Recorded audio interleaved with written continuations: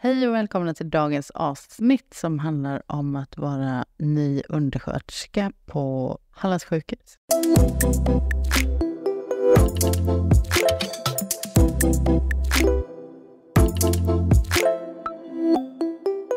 Idag har jag med mig Elin som jobbar som undersköterska på IVA i Halmstad. Hej Elin, välkommen! Hej, tack så mycket. Ja, allt väl? Allt bra. Ja, härligt. Ja, med dig med? Ja, det är fint, tack. Härligt. Ja, Elin, du är ju ganska ny på Hallands sjukhus. Det stämmer. Jag började första mars förra året. Så att, eh, ja. Ja, men då har du varit här lite mer än ett år. Mm. Ja, vad gjorde du innan? Innan jobbade jag som undersköterska i äldreomsorgen, eh, Halmstad kommun, i nio år. Oj. Mm. Vad fick dig att söka hit? Jo, efter de där nio åren så kände väl jag att eh, jag behöver göra någonting annat.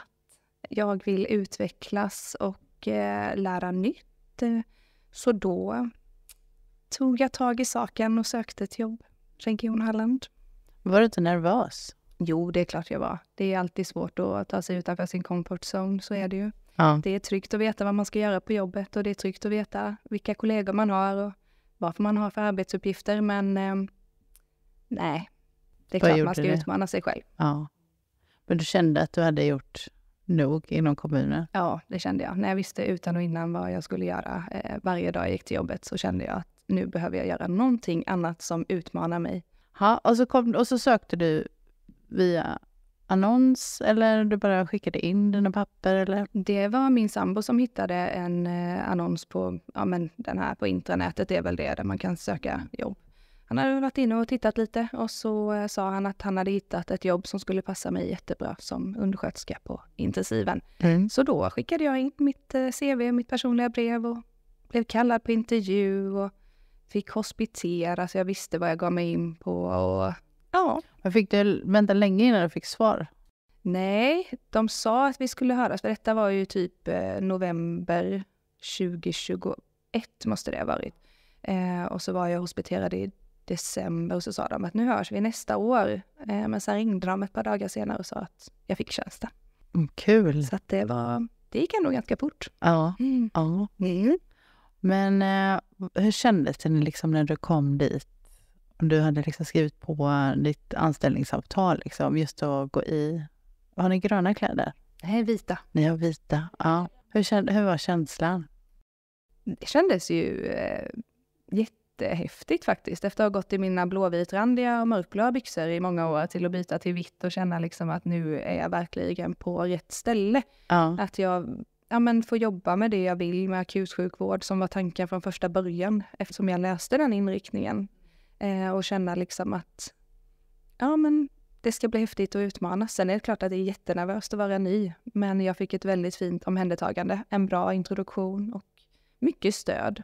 Och också rättigheten att få vara ny i minst ett år säger de att man kan känna sig som att man inte kan någonting, fast man kan ju det såklart. Men att de säger att det första året ska du bara se som liksom en liten inkörsport innan du börjar lära dig saker. Lite som en graviditet. Mm. Ja, precis. Ja, Lite så. månader, Mm, ja. Man Mm. behöver bara få ställa sig in på vad det är man ska göra.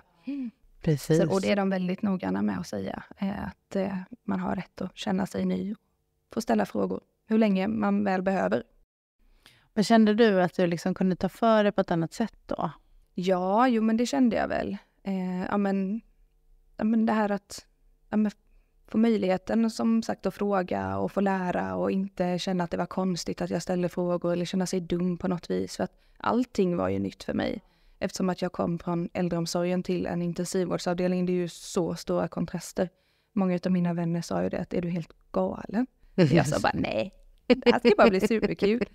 Så att eh, nej, det kändes fint att kunna få liksom ställa frågor och, eh, utan att känna sig dum. Ja. Och för jag tänker att liksom, det är ju så mycket. Det är ju, man ska lära sig var saker och ting ligger någonstans och man ska hämta extra material. Och, eller framförallt liksom patienterna. Bara hitta på huset när man möter folk i korridoren som frågar Ja, vet du var den här avdelningen är någonstans? Och bara, nej. det vet Ingen jag inte." aning. Jag har ingen Jag har ingen aning. aning. det finns ju kartor. Det, det finns kartor, Ja. allt är ju skyltat liksom. Ja. Men ja, allting blev ju nytt och hitta grejer och vi var under renovering precis när jag började och sådär. Men man lär ju sig, man kommer in i det också. Jag lärde mig hitta i kaoset och sen helt plötsligt så hade vi jättefina stora förråd och fick man lära på nytt. Men alltså bara man är ödmjuk mot sig själv och tillåter sig själv vara ny så, så går det hur bra som helst. Ja, det är precis som du säger, men man får vara lite ödmjuk, liksom att alla, alla är nya någon gång. Och, Ja, och sänka liksom Måste inte kunna. garden lite. Man Mm. behöver inte vara bäst på allt hela tiden. Utan man Nej, kan... Men sen tror jag att det är ganska viktigt också just som på intensivvårdsavdelning, liksom att man, eh, man kan inte dundra in där och Nej, där måste man ha tänka respekt. som man vill. Ja, man måste ha respekt för det man gör och verkligen hellre fråga en gång för mycket än en gång för lite. Eh, och jag vet, jag var ju livrädd för alla sladdar i början och sådär. Åh gud, och tänk om jag råkar snubbla på någon och den åker ut och vad händer? Det händer inte så mycket. Nej. Och sen är ju sannolikheten ganska liten att det ska hända. Ehm, nej, så att det, bara man är ödmjuk så tror jag det går hur bra som helst. Man måste bara våga. Man måste få Mm. Nu har du jobbat eh, lite mer än ett år, liksom. men hur var, hur var känslan de här första månaderna? Liksom? Den var både spännande och jättenervös och eh, lite överväldigande ibland. För jag kände liksom, vad har jag gett mig in på? Hur ska jag reda ut det här? Men för varje dag som gick så kändes ju allting lättare. Eh, och framförallt glad över att jag hade tagit steget att faktiskt göra någonting för min egen skull. Att välja liksom att våga gå utanför min comfort zone, söka det här jobbet, gå dit på intervjun, få jobbet, börja och skolas in. Att jag liksom, ja men tog det steget. Man var stolt över det. Och att jag hela tiden var nyfiken och tyckte att det var spännande. Jag tycker fortfarande. Ja. Jag har inte lärt mig ens en tiondel ännu. Nej, men det är ju det som är så roligt, för man lär sig varje arbetspass.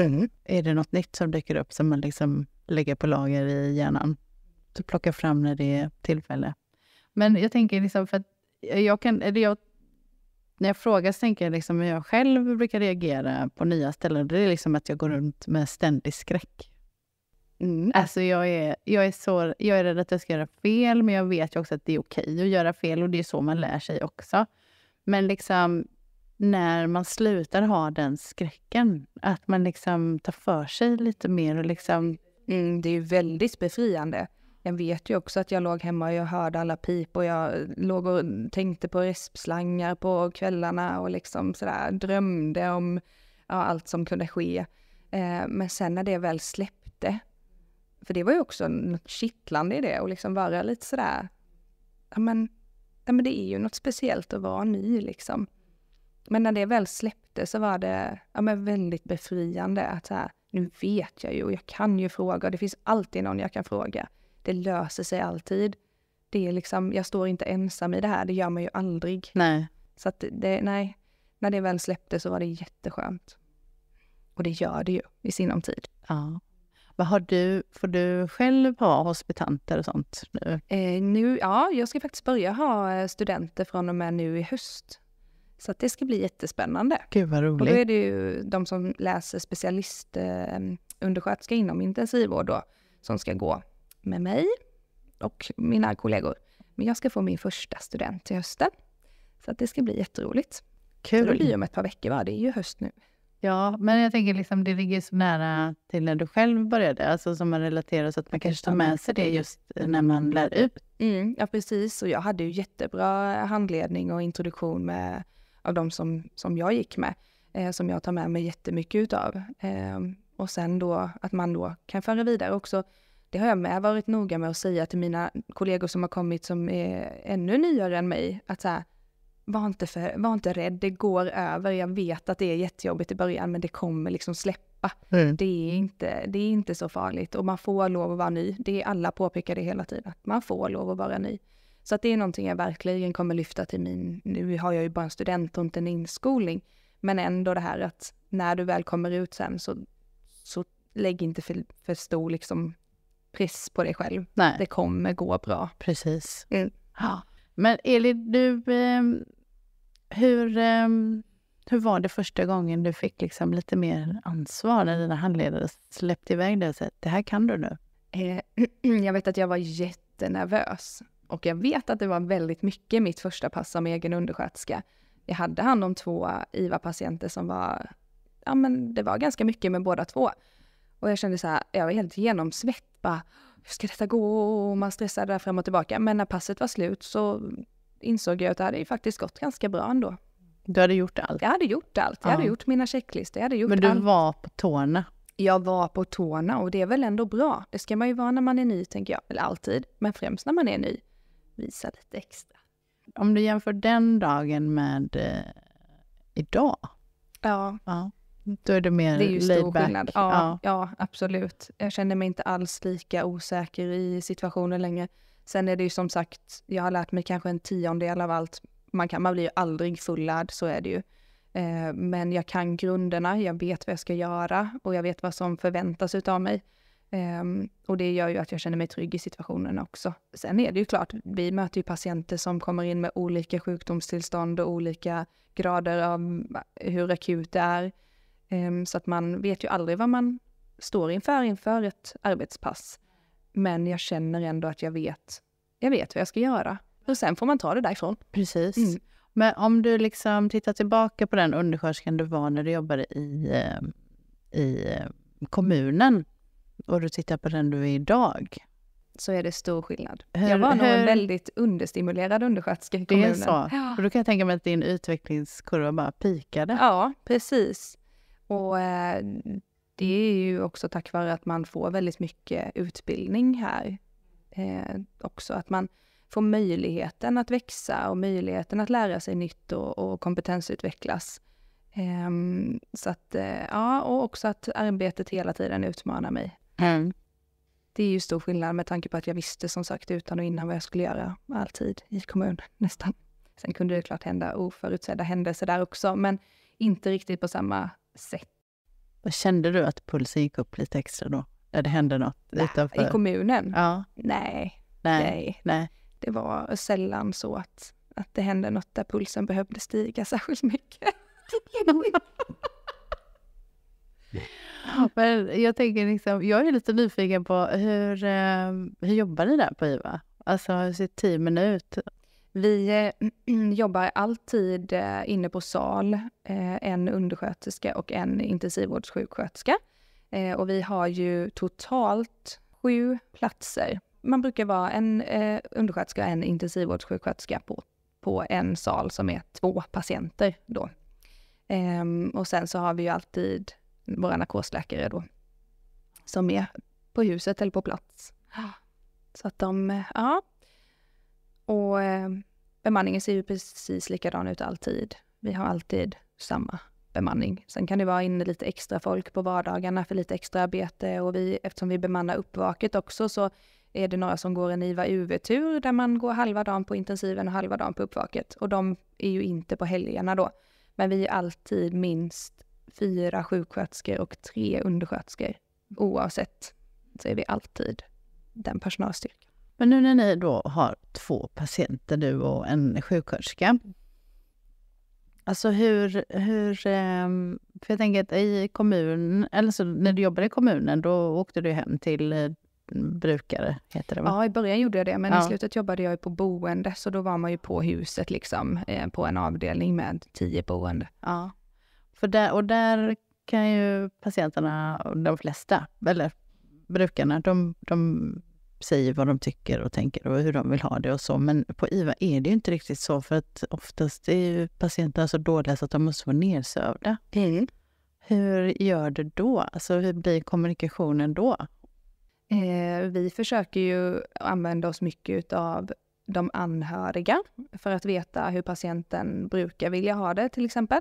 Eh, och sen är vi jättenoga med att vi alltid presenterar oss. Även om patienten ligger nedsövd så berättar vi alltid vilka vi är, eh, vad vi ska göra, vad det är för dag och vad klockan är. Att man ändå pratar med patienten eh, och berättar innan man vänder och allt sånt där. Ehm, och sen så får man göra upp en plan tillsammans med sjuksköterskan hur dagen ska se ut och efter ronden så gör man ju också upp kanske en ny plan för vad som ska göras under dagen, vad som kom fram och så att man lägger upp liksom en plan tillsammans då för att man ska få dagen att funka. Och För att man ska samplanera kanske att om sjuksköterskan ändå ska ge läkemedel och störa patienten på något vis. Att även om de är sövda så märker de ju kanske av att vi är där liksom.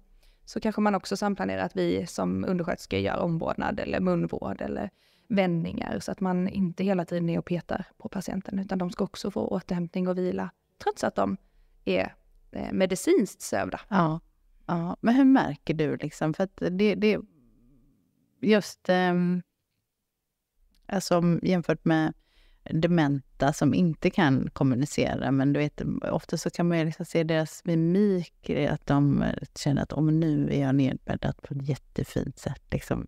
Märker ni också det på IVA? Eller? Ja, vi kan dels se det på parametrarna. På övervakningen kan man ju se till exempel att blodtrycket sjunker eller att pulsen sjunker, att man ser att patienten blir bekväm. Men ibland också de som är ytligt sederade kan du se på kroppsspråket att, man fakt att de faktiskt slappnar av eller att men sen kan man nästan se också om man har vänt någon på sidan och så tittar man och så bara, fast det där ser inte skönt ut. Det där ser inte bra ut. Jag skulle inte vara nöjd om jag låg så. Och då får man ju rätta till det. Så att det gäller bara att ha, ja men den övergripande blicken liksom. Precis, det kommer den tillbaka igen. Ja, ja. Mm, det är jätteviktigt. Mm. Eftersom de inte kan uttrycka sig. Nej, liksom, precis. Och så får man tänka sig in liksom om man själv skulle hamna i den situationen, hur man skulle vilja ha det. Man, så försöker jag tänka i alla fall. Att hur skulle jag vilja ha det om det var jag som låg här? Vad skulle jag vilja att man tänkte på då? Sen är ju inte alla likadana, men vissa mm, basala behov har vi ju allihop liksom. Skulle du säga till Rune, nu ska jag lyfta din arm och ta en liten tvätt? Ja, precis. Ja, mm. Jag skulle gärna vilja ha täcke på mig. Mm. Vi är duktiga på att bara lägga på ett påslakan. Jag skulle vilja ha täcke. Man vill ha tyngd. Man vill ha tyngd. Ja. Så jag brukar lägga på en filt. Ja. Mm, om det inte är någon som har feber. Ja, det är fint. Mm. Men Elin, eh, någonting eh, som oftast är lite jobbigt är ju liksom, även fast man har bestämt sig att man ska lämna sin trygga punkt, men att förmedla den till eh, sina kollegor. För mig var det så faktiskt att jag sökte den tjänsten under tiden jag var föräldraledig, så att jag kom tillbaks med papper till min chef när jag kom tillbaks första dagen och sa att nu säger jag upp mig. Eh, och jag var ju livrädd, alltså jag var så rädd att hon skulle bli irriterad på mig. Varför då? Nej men jag vet inte. Jag tänkte så här att hon tycker att nu, det här kunde jag sagt tidigare eller ja. Men det, så var det inte. Hon blev jätteglad och sa att det här har du gjort helt rätt i, det här kommer passa dig som handen i handsken. Eh, så att det blev ett jättefint eh, möte faktiskt att eh, prata med henne där och få säga det. Ehm, och jag hade nog pratat med någon kollega innan det kanske och berättat att jag skulle söka nytt jobb. Eh, och när det kom ut offentligt liksom i personalgruppen så var det ju många som ja, men frågade och hade frågor och var nyfikna och, och undrade liksom Främst för att det var ett, de tyckte att det var ett så himla stort steg att gå till intensiven, men också att bara byta från kommunen till regionen. Eh, för det är ju klart att det är många som kanske har tänkt den tanken. Mm. Vad skulle du vilja säga till dem? Gör det. Gör det. Var inte rädda. Verkligen inte. Eh, det enda som kan hända är att ja, du blir mer nöjd. Skulle väl jag säga. Och skulle du inte bli det så finns kommunen kvar också. Nej, men man blir utmanad och mm. tillfredsställd. Ja, precis. Ja. Och man får utvecklas. Man måste våga prova. Vissa jag pratar med säger oftast att eh, jo, men de skulle kunna tänka sig att jobba på sjukhus, men de tycker att det är lite för dåligt betalt. Och man kan ju prata i evigheter om lön, men varför är vi kvar? Trots att det är dålig lön. Varför är du kvar? Vad är det som får dig att stanna kvar här? Nej, men alltså det är klart att man kände att, att det är tråkigt att lönen är sämre, lite sämre. Men det är ju så mycket andra fördelar tycker jag. Att jag får möjligheten att kompetensutvecklas, att jag får möjligheten att tycka att det är väldigt roligt att gå till jobbet. Att jag har fantastiska kollegor, det hade jag i kommunen också, men det är också en känsla som är härlig att liksom gå från bra kollegor till också andra bra, bra kollegor. Bra ja. eh, och att, eh, ja men vi har ju ett annat schemasystem, vi lägger vårt eget schema. Vi har möjlighet till rotation, i alla fall hos oss på IVA, att man har möjlighet att jobba dag, kväll och natt och på så sätt få eh, en mindre veckoarbetstid, lite mer ledig tid. Um, men främst att, att det är så himla utmanande.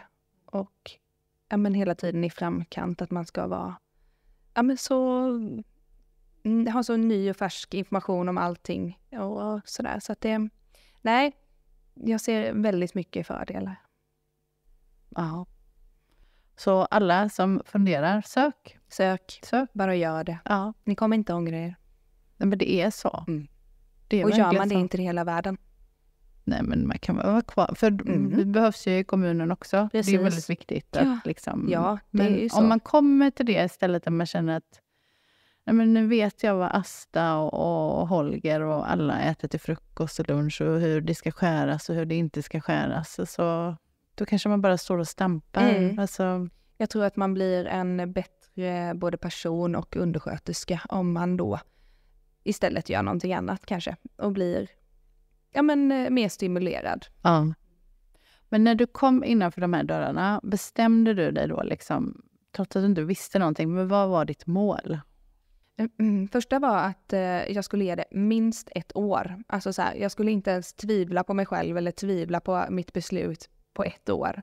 Ehm, utan jag skulle liksom ge det ett riktigt, alltså en riktigt rejäl chans att komma in i det innan jag ens tänkte någonting annat.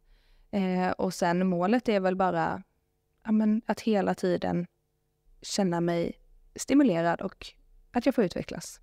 Alltså man ska vara den bästa versionen av sig själv, får man säga så? Det är så bra sagt. Elin! Man kan inte hela tiden sträva efter att bli bäst.